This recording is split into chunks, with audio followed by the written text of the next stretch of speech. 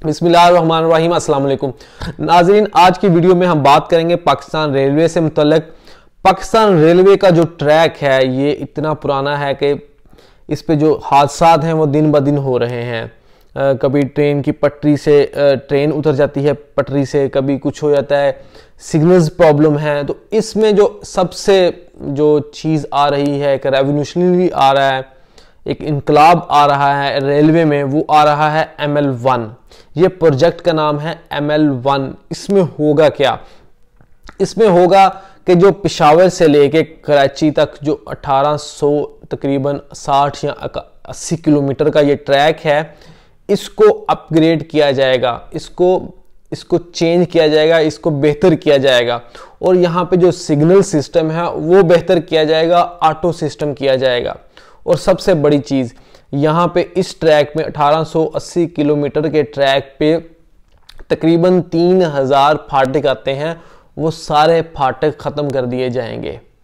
ये एक बहुत ही जो इनकलाब है रेलवे में, ये आएगा। इस ट्रैक को ट्रैक को अपग्रेड करने के बाद जो ट्रेन की स्पीड है, इस वक्त जो ट्रेन है वो तकरीबन 100 110 किलोमीटर फ़ी घंटा की रफ्तार से चलती है। जब ये ट्रैक बन जाएगा, तब ये तकरीबन 160 किलोमीटर पर आर की स्पीड से चलेगी।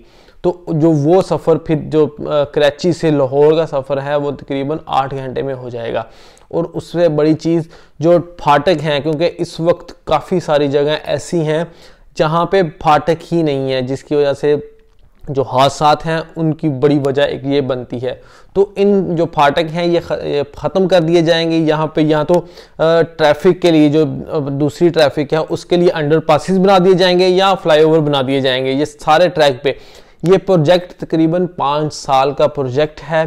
नौ अरब डॉलर, तकरीबन पाकिस्तानी जो रुपीज़ अगर करें इसको तो चौदह सौ चौदह खरब रुपए बनते हैं, चौदह खरब रुपए तकरीबन बनते हैं। ये उस इतना बड़ा प्रोजेक्ट है। ये सी पैक के अंडर प्रोजेक्ट है। चाइना इसकी जो है वो इसको स्पॉन्सर करेगा, इसको जो कर्जे देगा पैसे वो देगा।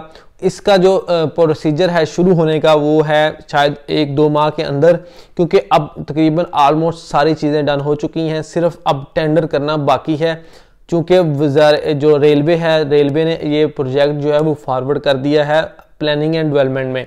असद उमर के पास। असद उमर साहब अब इस पर काम कर रहे हैं।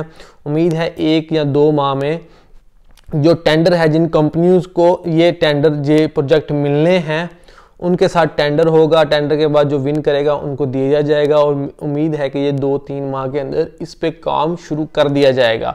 तो अगर ये काम इस पर एक तो शुरू होता है और ये तकरीबन प्रोजेक्ट काफ़ी बड़ा है, इसको अपग्रेड करना है, पूरा ट्रैक 1880 किलोमीटर का ये ट्रैक है, तकरीबन पाँच साल लगेंगे, हो सकता है पाँच साल से ऊपर भी लग जाएँगे क्योंकि ये बहुत बड़ा प्रोजेक्ट है। लेकिन ये है कि अगर ये प्रोजेक्ट बन जाता है तो पाकिस्तान जो रेलवे है, वो बहुत बेहतर हो जाएगी और उसमें जो हादसा हैं उसमें वाज कमी आएगी।